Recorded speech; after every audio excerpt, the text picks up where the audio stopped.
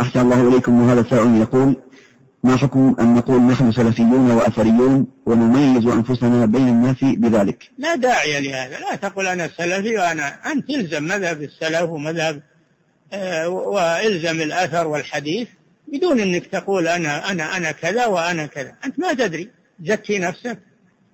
ما تزكي نفسك في هذا. نعم.